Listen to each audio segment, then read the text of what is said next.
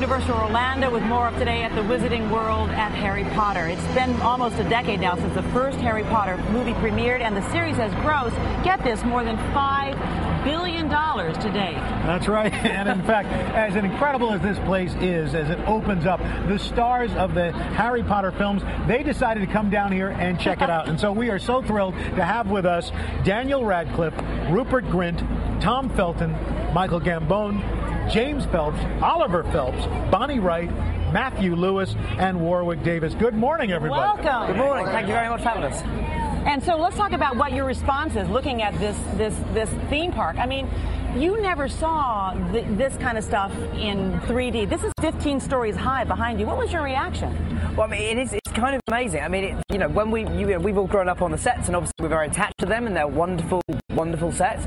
But you know, nothing escapes the fact that when you walk outside of the Great Hall, you see that it is in fact made of scaffold and wood, rather than a millennium-old rock. And so, you know, what's wonderful about this place is that there is never a moment where the illusion is broken. So everything is kind of real and true, and you know, it is kind of 700 foot of castle. It appears behind us, so it's yeah, it's pretty awe-inspiring. What was everybody? What was your first reaction, Rupert, when you saw it? Yeah, it was just, it's been quite an emotional few days really because we, we wrapped on Saturday the film. La- This past um, Saturday. Yeah, yeah, so to come straight here and, and see see this place is just, yeah, it's amazing. It was emotional Okay. because, in fact, there was a, there were actually a lot of tears. I mean, just as you said that, I could see how emotional you are about it because it's been really half of your lives that you've been playing this, and also you, Tom, as well. Yeah, I mean, don't start crying again. man. No, no, no. We'll keep it together, man. but there were some No, very much so, very much so. Uh, even yesterday, we were up on the stage with, with uh, oh, sorry, the night before that with John Williams. It was very, um, very touching moment. Yeah, it was very moving. Lump in the throat. It was very much so. so And yeah. Melissa was saying that it was like uh, feeling the death of a friend in some ways. Yes, uh, that, that, that, was, that was taken. That was taken very extremely. but, but, but yes, I mean it is. It's a it's a very very sad moment for, for us all. I think you know. It's, uh, That's right. And, and in fact, uh, Michael, uh, when you your character Albus Dumbledore actually appears during the during the ride. Uh, Yeah. that was uh, that's I saw it for the first time yesterday, and I was overwhelmed by it. I couldn't believe it. It looked like it looks like me, doesn't it? I mean, it's supposed to, Yeah. it better look like you. but that's so real.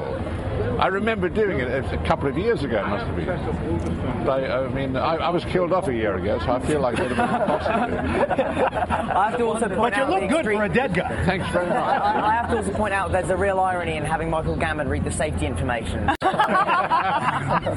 Also, we should probably mention, you know, earlier we were talking about how this has had such a big impact on your lives. Well, Bonnie Wright, this has had an impact on you in a way that it's had an impact on no one else because because of these movies, you're now engaged. Is this right? And it's not to Harry Potter.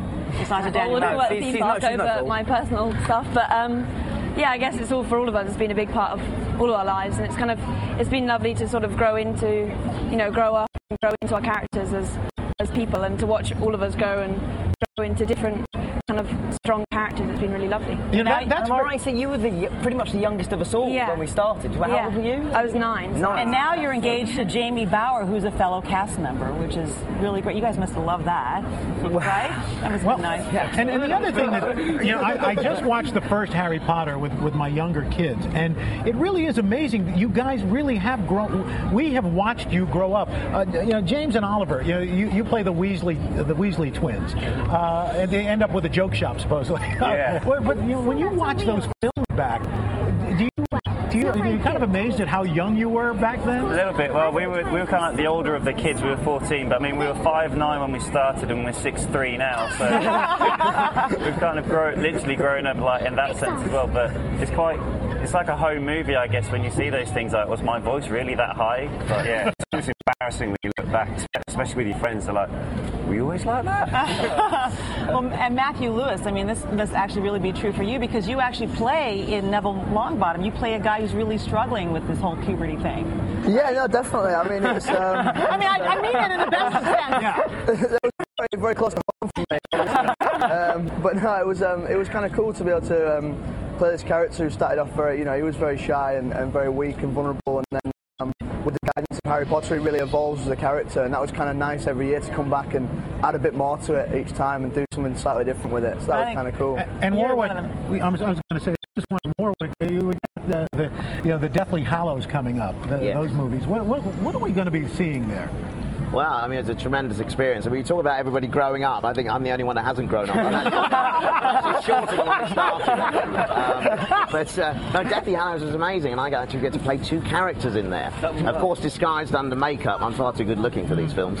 Um, but uh, yeah, a really wonderful experience, and yeah, very sad to see it all come to a conclusion. But uh, you know, we now have the Wizarding World to kind of live on as a legacy, I suppose, and uh, be able to experience that. Well, it's it's quite a legacy for all of you. You know, uh, uh, Tom, you you- everybody, you're the guy everybody loves to hate. So. And I got an MTV award, by the way. Thank you very Yes. much. I had a I had a youngster come up to me yesterday and actually just say straight out, "I hate you." Oh. And I was Well, And we by that, love you. we love you. Thank you very much. Either way, I love all of you. Thank you so much. Thank Thank you. you very Thank much. Good luck ahead. Everything.